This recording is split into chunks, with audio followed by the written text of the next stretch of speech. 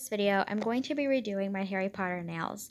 I really, really like how this turned out, and everything I'm using I will have linked in the description box below.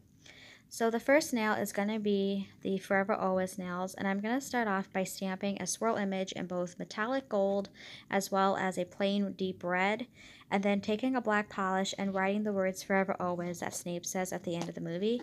I actually um, have a necklace that has this saying on it, and it is one of my favorite necklaces. If you struggle with freehanding like I do, definitely try out freehanding with black acrylic paint or acrylic paint in general because it is so much easier.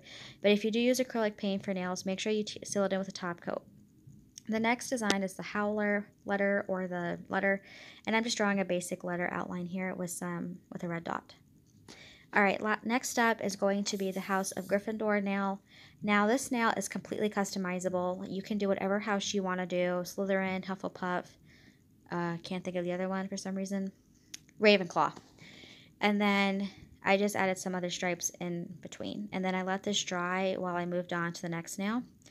And then for this nail is going to be the wall that has the 9 and 3 quarters on it. And I just drew some off-white, like an ivory color uh, polish across the nail.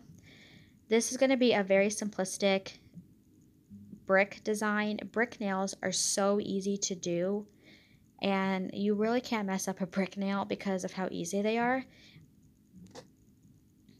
And then I went ahead and I let this dry for a little bit and then moved on to the next step after looking at another nail here. I just like to let each nail dry a little bit before I move on to the next step so nothing, uh, we don't get bubbles. The next step is going to be to take a ivory polish and I just sponge this over a teal to create the cloud effect that the word Harry Potter sits in in the beginning of the movies. And then of course I let that dry a little bit and then I moved on to this again.